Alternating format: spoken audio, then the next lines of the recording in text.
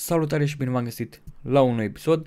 Înainte de a trece la episodul propriu-zis, nu uitați că aveți în descriere Instagramul meu, Facebook-ul meu unde sunt foarte activ și răspund la absolut toate mesajele, iar tot în descriere găsiți și link de car vertical în cazul în care vreți să verificați istoricul unei mașini cu privire la daune, eventuale revizii pe care mașina le-a avut.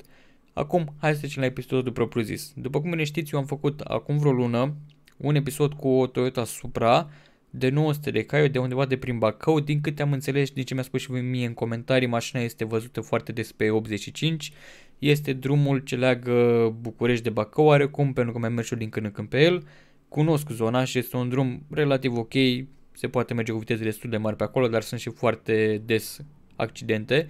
Mă rog, uh, București, Focșani, Ajud și tot așa, mergi până la Bacău și mulțumesc că proprietarul are și un service, este foarte pasionat și nu știu exact cum se numește serviciul lui, dar mi-ați spus voi în comentarii, oricum o să vă las în descriere link către clipul respectiv, dacă nu căutați-l voi pe YouTube, se numește Se Vinde uh, Toyota Supra de 900 de cai, este pe canalul meu. Hai să trecem la videoclip. Uh, eu am vrut să vă prezint mașina aia pentru că mi s-a părut relativ unică și pentru că avea și un preț pe măsură undeva la 90.000 de euro, dacă nu mai 86.000 cred, chiar nu mai știu exact. Iar acum am dat întâmplător de această mașinuță pe Facebook. Sunt sigur că printre voi sunt anumiți pasionați de mașini mai vechi, mai clasice. Sincer să fiu și eu sunt de părere că mașinile mai vechi, mai clasice sunt mult mai fiabile, mult mai rezistente și au un farmec aparte în momentul în care le conduci. Nu ai 15.000 de display-uri în stânga și în dreapta, nu ai 15.000 de butoane, nu ai... Sunt foarte sofisticate mașinile noi după părerea mea, mă rog, cele de generație mai nouă, după 2015 să zicem. Dar, până la urmă, știi cum e, dacă asta sunt majoritatea, până la urmă trebuie să ții o mașină să poți să-ți faci treaba cu ea. Și până la urmă o să fii împins de legi și de interese politice să-ți cumperi o mașină cât mai nouă ca să poți să te folosești de ea să nu fii omorât de taxe. Cu toții știm chestia asta și asta e. Până la urmă, n-ai mașină, ți necaz, ai mașină, ai necaz. Și după cum am zis, eu încerc să vă prezint diferite mașini, pentru că sunt sigur că printre voi sunt pasionați de mașini ce vor să vadă mașini mai vechi. De asemenea, eu am o rudă care are o Lada de prin 75 cu vreo 12.000 de kilometri și mai am uh, tot așa o rudă care are un Mercedes C-Class de prin anii 80, 2000 benzină, vreo 100 de cai, 90-100 de cai, are vreo 20.000 de kilometri. Mașinile stau în garaj, ies o dată pe an, la expoziții sau unde ies. Au și certificat din ăla de epocă, sau cum îi zice exact și mașinile alea deja le are de vreo 5 ani de zile și le-a crescut valoarea. Exact aceeași chestie este și cu această mașină și cu Supra și cu multe alte mașini care au rezistat în timp și sunt, nu știu cum să zic, ele ca și modele au fost proiectate foarte bine și o să le crească prețul din ce în ce mai mult, mai ales pentru un pasionat care chiar o să țină la ele. Pentru că sunt multe mașini foarte frumoase, foarte fiabile, mașini la care a ținut foarte bine prețul și încă îi crește destul de serios, dar mulți își bag joc de ele, sunt mâncate de rugină la un moment dat, date la remat sau vândute pe sume foarte mici. Dar dacă ar fi recondiționate și așa, probabil și-ar ține prețul foarte, foarte sus. Bun, despre ce mașină vreau să vorbim astăzi este un Mercedes Benz S70 AMG, prețul ar fi de 85.000 de euro.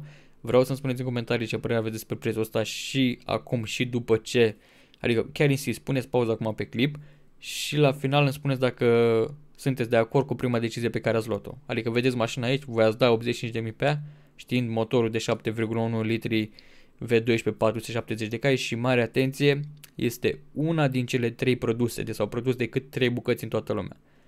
Mare atenție. Și acum poate nici nu mai există celelalte două bucăți. Bun. Eu, sincer, la prima vedere, nu aș da banii pe mașina asta. Hai să ne cum arată la interior. Pentru că probabil sunteți și voi curioși și cred că pot să-i dau un full screen, nu? Cred că n-ar fi o problemă asta. Da, dar nu mă ajută cu mare lucru. Ok, deci mașina arată așa. La prima vedere cred că e o mașină anilor 80-90 prin generația aia pentru că, nu știu, așa cred după faruri. Nu se lucra foarte mult la design, oricum nu se pune accent pe designul care este acum și nu era la fel de important designul. Din spate arată așa, mi se pare o mașină destul de agresivă, îmi place foarte mult cum arată și cu privire la această insigne, ca să zic așa, uh, cu Mercedes am un vecin și vreau să-mi spuneți în comentarii dacă vreți să facem un car vlog cu el. Are un Mercedes E-Class din 2004-2003, 2.2 CDTI diesel și aș vrea să facem un video cu el, ce ziceți? Are 1.200.000 de km, i-a schimbat motorul odată, dar tapiseria, interiorul, volanul, cutia am luat odată la ea, dar încă merge. Marea majoritate este originale. Tabla în principiu este originală și cineva a făcut o glumă, mă, dar ștanța aia de aici, ca așa îi se zice în popor, nu ți-a căzut într-un milion 200 de mii și nu i-a căzut, chiar este acolo intactă.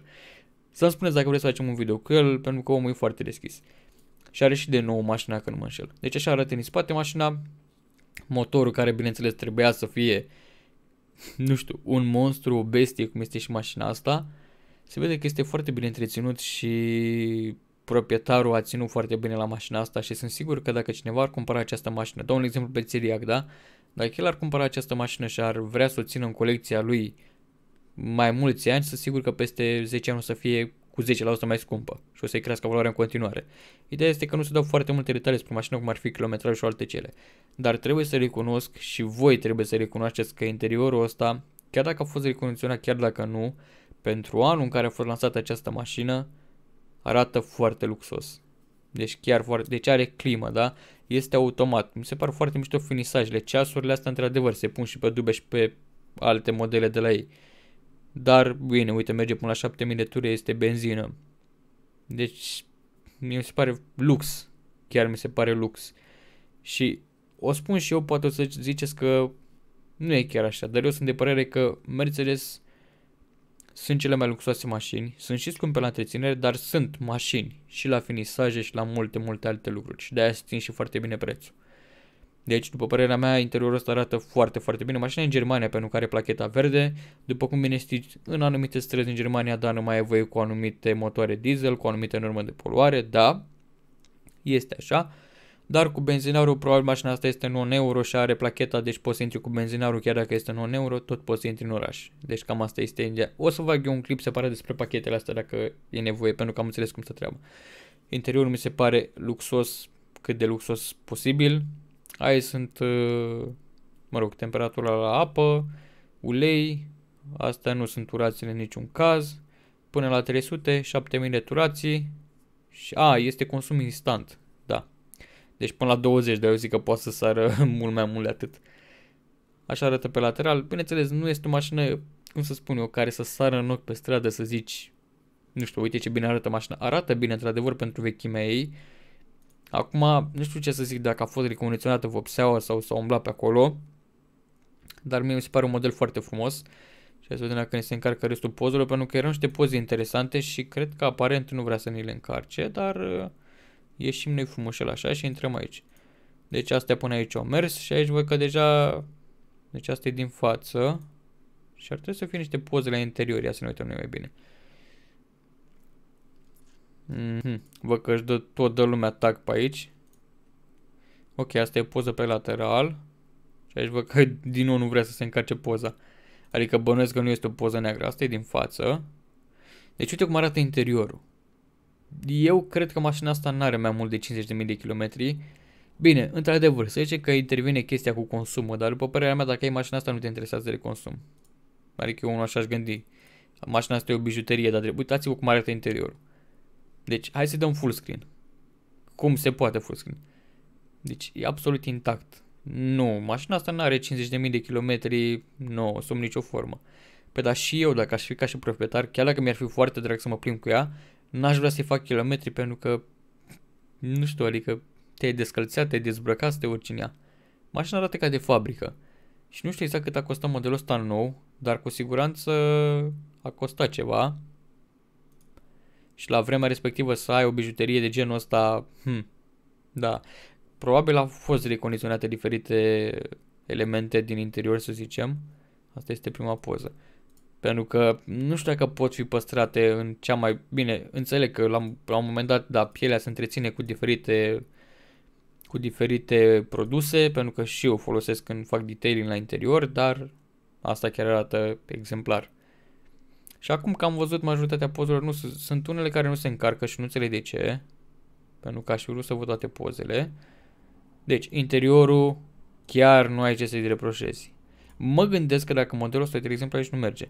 Mă gândesc că dacă modelul ăsta era vândut, probabil aș trece de pe pagină. Mașina asta mi se pare un tank de-a dreptul. Dacă ești pasionat de mașini, sunt sigur că ai da 85.000 de euro pe mașina asta, dacă ai avea.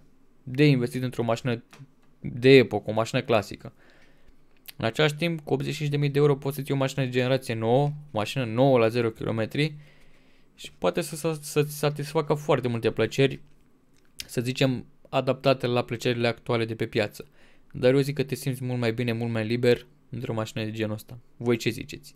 Mie nu-mi place foarte mult mașina asta. Poate că prețul ăsta poate fi negociat, dar uh, mașina e altceva și e ceva unic. Am putea spune că este ceva unic. Pentru că e una din trei produse în lume și poate celelalte două nici măcar nu mai există. Da, nu știu, e foarte mișto mașina, mie nu-mi place. Aștept părerile voastre în comentarii, iar noi ne vedem la următoarele episoade. Vă salut!